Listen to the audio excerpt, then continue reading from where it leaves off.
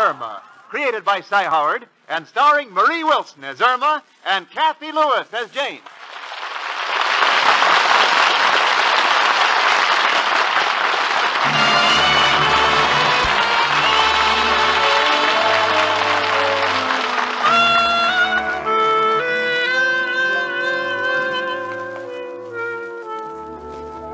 And I found out I'm carrying insurance against loss of property, loss of life, and loss of health. But I'm still not insured for loss of mind. That's what I need living with my friend Irma.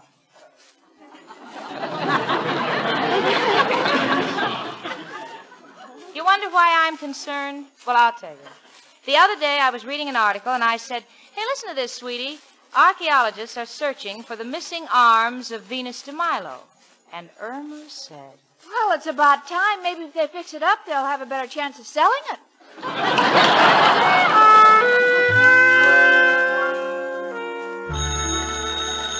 I'll get it. Hello? What? Oh, yes, Al, honey. Oh, Al, that's wonderful. Oh, I'm so excited. Huh? You're coming over to tell me all about it. All right, goodbye. Oh, Jane, that was Alan. And do you know what he said? What? It won't be long before I have a mink coat. What did he do? Get a job as night watchman in a fur warehouse? Oh, no, Jane. He's managing a prize fighter, and he's going to make a lot of money. Oh, sure. He was going to make a lot of money when he organized that hockey team, and what happened? Well, that wasn't his fault. He had to buy them uniforms. Yeah, so he hocked their ice skates. Well, he got them back. And they all got pneumonia playing in their underwear. you know, Irma, you might as well face it. Al is never going to make a living with all of this scheming. Well, you can talk all you want to, but my Al loves me, and someday he's going to wind up sitting on top. On top of the electric chair. the first place, what does Al know about prize fighting? Well, he had a chance to pick up a lot of pointers. He told me that from the day he was born, his mother and father started fighting. What a shame. After the damage was done. Huh? Nothing, nothing. Just you don't go building yourself up. The only reason he's become a prize fight manager is because he hopes someday somebody will throw in the towel and he can run down to the Turkish bath and sell it. Come in. Hello, girls. Oh, hi, Mrs. O'Reilly. Girls, I must tell you the news. I'm on the entertainment committee for a charity affair. We are trying to raise money for the widows and orphans of the fire department. Didn't you put on a show for them last year? Yes, but this year I'm having trouble finding talent. If I could only figure out something real special as the main attraction. Last year I had a sword swallower. You tried to get him again this year? Oh, I couldn't. The poor man had a horrible accident on his last performance. Well, what happened? Well, he just swallowed a large sword when somebody threw him a bouquet of goldenrod.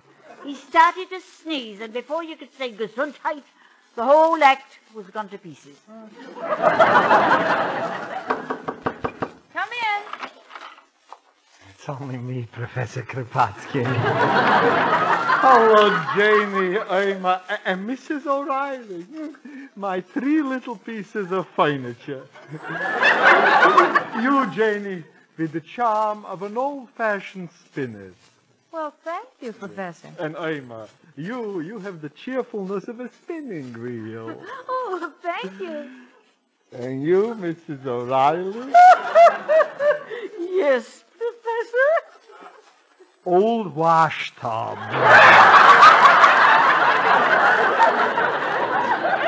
Oh, Professor, understand you. Last night you were such a gentleman when you took me to the movies. Uh-huh. Well, that was different at the movies. I took you to the movies because the Black Crook was playing, and I wanted to have a large sack along in case he dropped some of the loot. That's enough of your remarks. Here I'm working my fingers to the bone trying to help the widows and orphans of firemen, and you have to come around here insulting me. No, no, I'm sorry, Miss O'Reilly, really. So you're getting the fireman show together again, huh?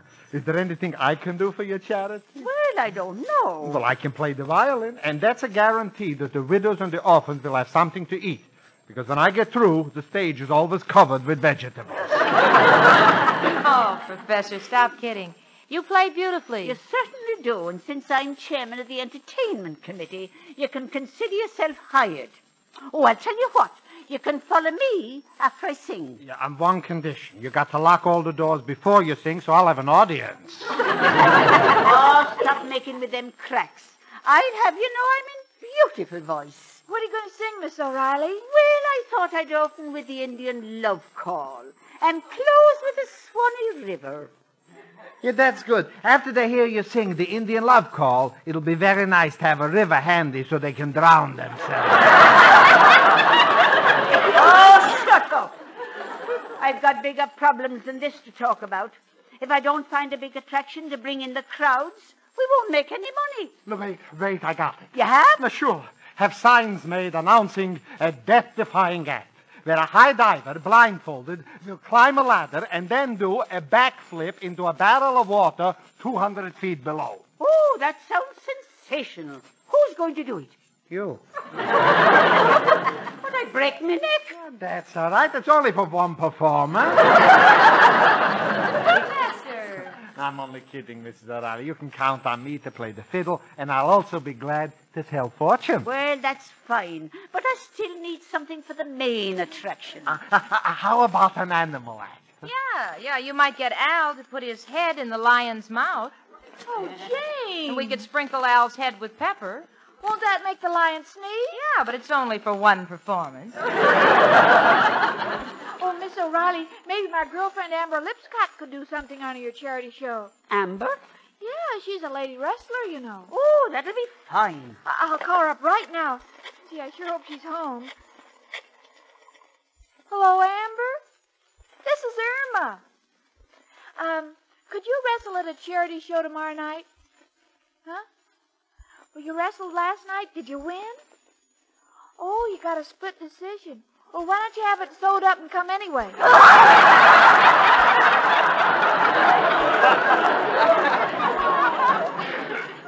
oh, yeah, I see. Well, yeah, I understand. Goodbye. Amber can't make it. She has to be in court tomorrow. She broke the referee's arm. Well, come in. Hello, folks. Hiya, chicken. Oh, hello, Al, honey. Come on in, Mushy. Thanks, Dal. Hello, everybody.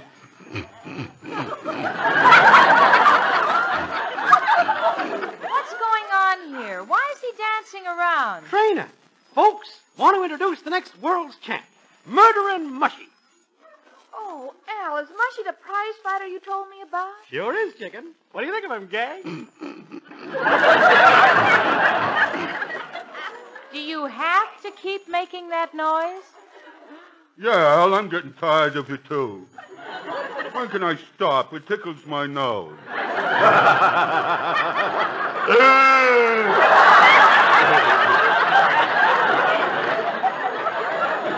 now listen, Mushy. Mushy, you do what I tell you to do. You sign a contract making me your manager. yeah, I know, Al, but when I signed that contract, you held your hand over the words. Was only trying to protect you. Didn't want you to ruin your eyes.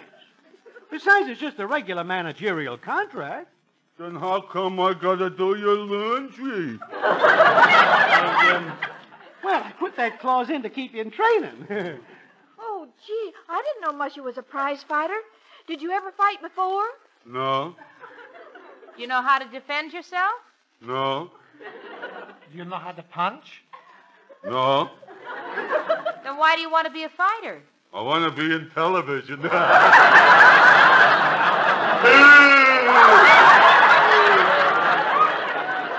a minute, Al. What are you trying to do to Mushy? He doesn't know anything about fighting. yeah, I'm a little worried about that, too. now, Mushy, don't go getting scared. Didn't I say I'd teach you everything I know? Believe me, you can't get hurt. I can't? Positively not. Then how come the Blue Cross Hospital plan turned down my application? Oh, what do they know? Just keep practicing everything I taught you. You got to be champ. All right, Al. When is he going to have his first fight, Al? Well, you see, now that's my problem. Murdering Mushy ain't got no reputation, so it's hard to get about for him. Well, Al, I've got a wonderful idea. I'm putting on a charity show, and Mushy could be the main attraction. Hey, that could be a thought. Would give the promoters a chance to see my boy in action.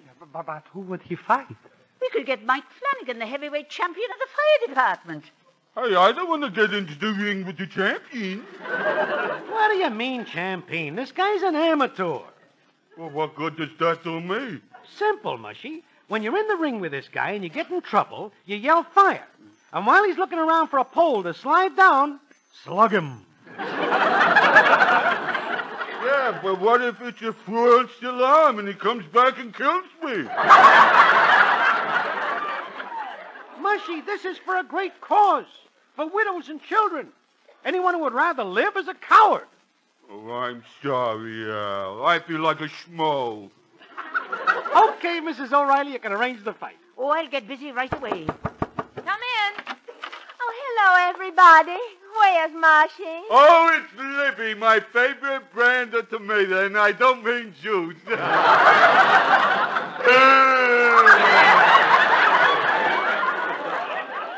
Mashi, I hear that you're going to be a fighter. That's right, Libby. You're going to be real proud of your boyfriend. Well, as long as he can learn to duck. I couldn't stand it if anything happened to his gorgeous face. oh, gee, I ain't that pretty, Libby.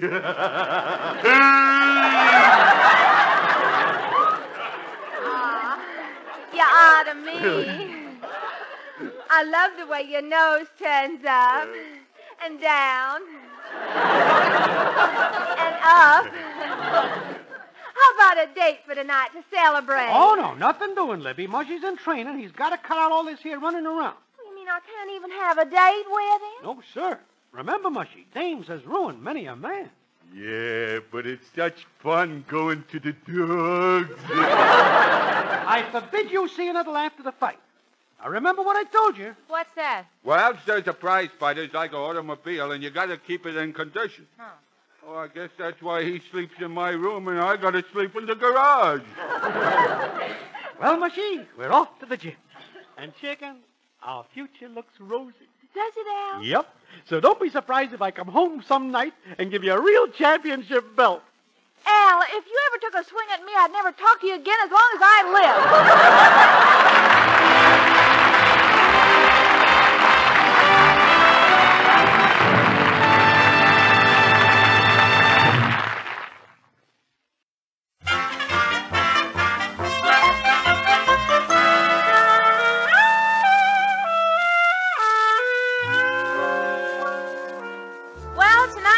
tonight's the big night, and if everything goes all right, the Firemen's Beneficial Fund is going to do okay. Because Mrs. O'Reilly has really outdone herself organizing things. You see, Irma has been put in charge of selling kisses. She's worked out a price list. She really has. She's got a price list. Five dollars for married men, three dollars for single men, and a dollar for fellas with mustaches because Irma likes to be tickled, isn't that? that, darling? Irma? Yes, Jane? What are these forms you're typing? Oh, I'm going to stack these up in the kissing booth What for? in case anybody wants to open up a charge account. I was afraid of that. On second thought, honey, I think we should give Amber Lipscott the kissing booth. You know, she's had more experience. All right, Jane, but what can I do? Well, you run the orange juice dispenser. Oh, no, Jane, I don't like those machines. The last time I tried to work one, I filled my sleeve three times and nothing went in the cup. Yeah. well, I guess you better run the hot dog stand. No, I tried that last year at the show and I had so much trouble. Sweetie, I told you, you don't split the hot dog and try to shove the roll in. You split the roll and shove the hot dog in. Oh, it's so complicated. oh, honestly, why don't you just forget the whole thing, huh? No, Jane, this show is for widows and orphans, and I want to do my part. I know. We'll think of something. Wonder if Al got mushy in shape for the fight tonight. Come in. It's only me again. Girls, you got to come up on the roof. The roof? What for? Al couldn't afford to take his fighter, murdering Mushy, to the gymnasium, so they're working out on our roof. What a sight. He's using the clothesline to jump rope with. And guess what? What? They filled a pair of Mrs. O'Reilly's bloomers with sand, and they are using it for a punching bag. Oh, that's terrible. No, no, they still have a better shape than if Mrs. O'Reilly was in there. I want to watch them train. Let's go up there. Yeah, okay. I understand this Mike Flanagan is a real slugger. Oh, I hope Mushy doesn't get hurt. He's such a sweet guy. Oh, hi, folks. You're just in time to see my boy Murderer's Mushy in action. Okay, Mush, time to skip rope again. Let's go. Okay, Al. Wait a minute, wait a minute. Why is the rope cut in two pieces? Well, he kept tripping over it, so we cut it in half. you know, he ain't too graceful. Yeah, but Al, look at the way he's dressed. His belt buckle comes right under his nose. it's tragedy.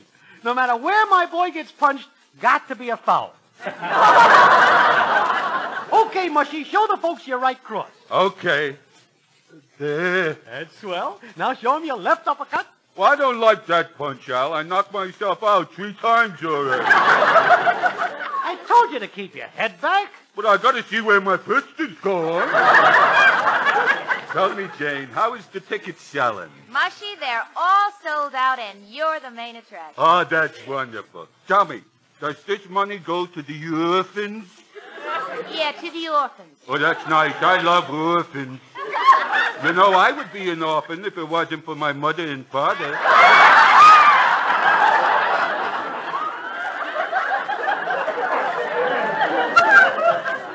This guy's punchy already. Thanks, Jane. hey, Al, can I have a couple hours rest? I'm tired. All right, Mushy, go home and rest. But remember, no dames. Stay away from Libby. Can't I even get a good luck kiss from her? Uh-uh. Kissing weakens a man. Huh? I never do that. Scientific fact. Well, before the fight tonight, instead of shaking hands, maybe I should kiss him. Oh, you can't. He's married. That's enough. you know, you better get to work. Work. Oh, I almost forgot. Goodbye, Al.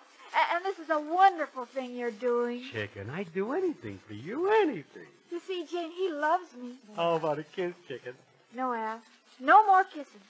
Well, why not? Well, you said kissing weakens a man. So what? Well, your lips are in your head, and I wouldn't want to make you weaker there. Bye.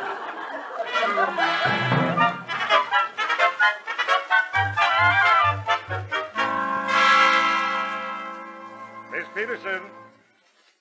Miss Peterson, will you come into my office, please? But, Mr. Clyde, can't I finish what I'm doing? No, get in here. Oh, all right. I want you to take a letter to the. What's burning? Your coat. My coat! You idiot, how did this happen? Well, you told me to get your fountain pen. It was so dark in your pocket I couldn't see, so I lit a match. Don't worry. I put it out. I wish I could do the same with you. Now get your dictation book. Okay. Uh, dear Mrs. Hartman, in regards to the litigation involving your divorce, your husband has agreed to drop all claims and debts against your joint property. You got that? I think so.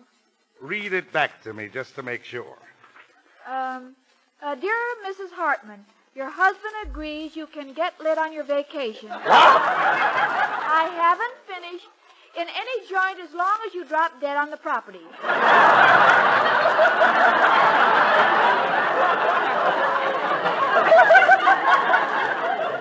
Miss Peterson, what is this? What is the matter with that brain of yours? It's mushy.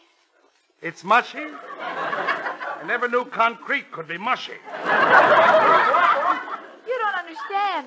Mushy is Al's boyfriend, and he's going to fight for charity tonight. Well, what's that got to do with it? Well, if he wins, my Al will become a real fight manager, and maybe he'll have enough money to get married. Oh, I'm so excited. I haven't been able to concentrate all day. Yes, I know you haven't been able to concentrate. My humidor is all filled with pencils. Pencils? Yes. Now, where did you put my cigars? Oh, I must have sharpened them. That does it. Out! Out! Get out of here!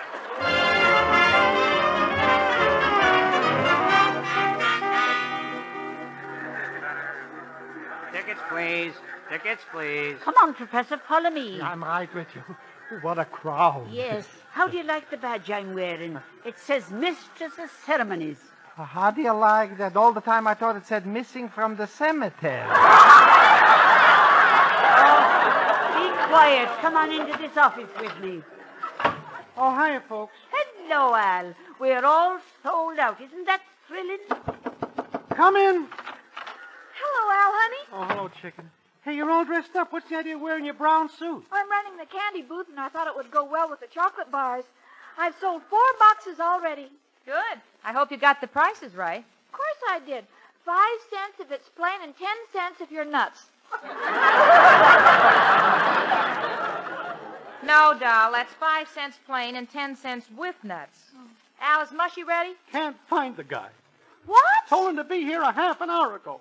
Oh, Al, why didn't you keep an eye on him? Now, wait a minute, Jane. Don't pick on me. I got as much at stake as the rest of you. Spent all my time training him, teaching him everything I know. Besides, I, I bet all my dough on Flanagan. Oh. Haven't you any idea where he might be? Well, he usually goes to the aquarium to pick up a few extra bucks. The aquarium. Yeah, see, they have a seven-legged octopus, and he bets strangers how many legs an octopus has. Well, why did you call the place? Well, he don't go there no more. He went broke last week. They they switched octopuses without telling him. Well, the fight's supposed to start in ten minutes. Maybe that's him now. Oh, yeah, yeah, yeah. Come in. Oh, everybody. Oh, my... Mushy, what happened to your arm? What's it doing in a sling? Well, Al, I might as well confess. I broke training. Me and Libby went to Coney Island this afternoon, and when we went through the tunnel of love, I put my hand out for a left turn. Tunnel of love. What were you doing in a tunnel of love? Well, you told me that kissing weakens a man. So I thought if I was in a dark place, I couldn't see what was happening to me.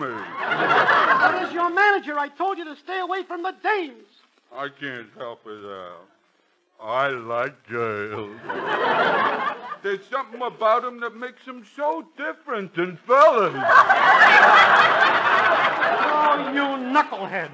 Now what are we going to do? The place is sold out and they're waiting to see the fight. Yeah, Al, what are we going to do? Wait a minute. Don't look at me. Why not? You said you knew all about fighting, all the tricks. Why don't you take his place? Who, me? Yes, it's for widows and orphans, Al. You can't get hate. That's what you told me. Oh, shut up. oh, no, I'm sorry, Jane. Can't do it. Al, you said you'd do anything for me. Anything. Okay, chicken, I said it and I mean it. Then you're going to get in there and fight? Indirectly. Now, Professor, when he feints with his right, you cross with your left. Me? I will not hit a fella gypsy. Flanagan, a gypsy? How do you know he didn't change his name? Oh, oh. Look, Al, there's only one man here that's going to climb into that ring with Flanagan. Mrs. O'Reilly, hand me your hat pin. no, no, no, Jane, no, no, no, no.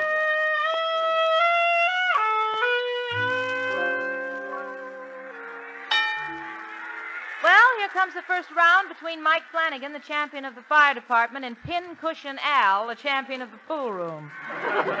Here we go. Flanagan comes out of his corner. Al comes out of his corner. Now Flanagan pulls back his right. Now he lets it go. You see, Gene, you said Al didn't love me. Look how contented he looks lying there in my lap.